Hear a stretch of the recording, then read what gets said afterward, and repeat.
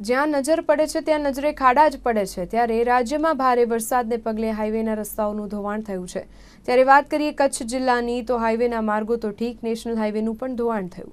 ત્યારે આ રસ્તાઓના સમારકામ માટે કચ્છના સાંસદ વિનોદ ચાવડાએ અવાજ ઉઠાવ્યો છે.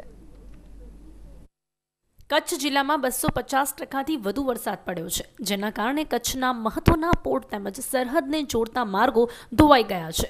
સ્ટેટ હાઈવે સહિત નેશનલ હાઈવે પર ગાબડા પડ્યા છે. ત્યારે કચ્છના સાંસદ વિનોદ ચાવડાએ સમારકામ માટે અવાજ ઉઠાવ્યો છે અને સ્ટેટ તથા નેશનલ હાઈવેના અધિકારીઓ સાથે તાત્કાલિક બેઠક કરી રસ્તાઓનું સમારકામ કરવા સૂચના આપી છે, જે માટે એજન્સીઓને તાકીદ કરવામાં આવી છે. જે રીતે રસ્તાઓનું ધોવાણ થયું છે અને ખાસ કરીને જે કેન્દ્રને લગતા નેશનલ હાઈવેના રસ્તાઓ છે, જેનું તાત્કાલિક ધોરણે સમારકામ થાય, રિપેરિંગ કામ થાય અને જ્યાં ખાડા ખાબોચિયા છે, જે તે એજન્સીઓને કામ આપવામાં આવ્યું છે. એ લોકોને તાત્કાલિક મેં ટેલિફોન કર્યો. તાત્કાલિક એમની સાથે નાની એવી મેં મિટિંગ પણ કરી છે.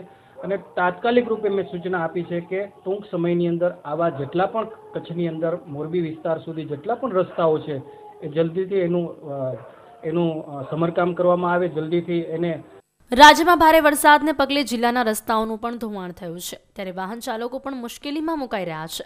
રસ્તા પર ખાડાઓ હોવાથી વાહનોને નુકસાની પણ થઈ રહી છે. તો આ બાજુ અકસ્માતનું પ્રમાણ પણ વધ્યું છે. ત્યારે લોકોની માંગ છે કે રસ્તાઓનું જલ્દી સમારકામ કરવામાં આવે.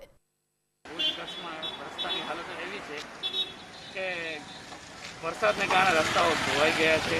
અમુક રસ્તાઓને કારણે ખાડા પડી ગયા છે. રોડો તૂટી ગયા છે. અધિકારીઓ છે, એ લોકોએ કોન્ટ્રાક્ટરોએ જે ભ્રષ્ટાચાર કર્યું છે, એ પાદરું થઈ ગયું છે.